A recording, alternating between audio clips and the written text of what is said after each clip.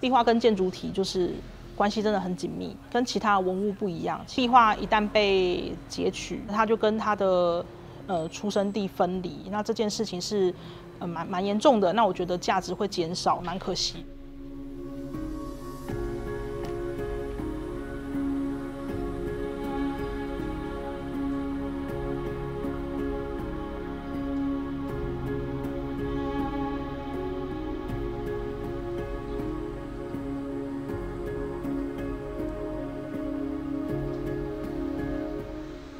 看到这个壁画呢，因为它是浮塑，好，那它就是头的部分，它是可能是有模型去翻模，然后再贴上去。那身体的部分是用呃慢刀稍微做出立体感，所以遇到这样的东西，然后加上这样这样的作品，然后再加上它上面有非常多的裂痕，那首先我们第一个就要怀疑说，哦，那这个在浮塑的部分是否有空骨？那在空骨的部分呢，我们会。观察这个裂痕，然后再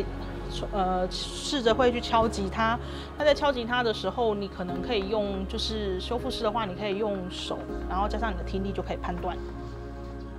那我们可能尽可能就是也许钻在裂痕上面，然后尽量不要去破坏这个墨线，因为墨线是艺术家的一个嗯创作，好它的一个表现。那这个墨线我们是很难去复原的，所以我们尽量不会在墨线上面。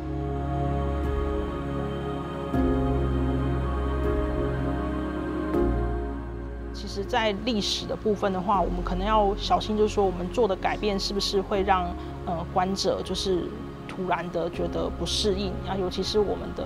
壁画这个文物是属于开放空间，大家人来人往会会接触它，所以比如说在清洁这个方面的话，就是我们在清洁程度就是会做一个统一跟和谐，然后不会一味说要呃把所有东西都移除，恢复到它最原始的状况。修复师其实并不是创作者，那我们就是在后面嗯做的是比较支援，然后延续它的生命的人。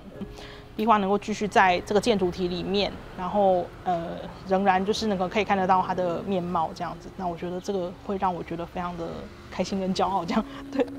嗯。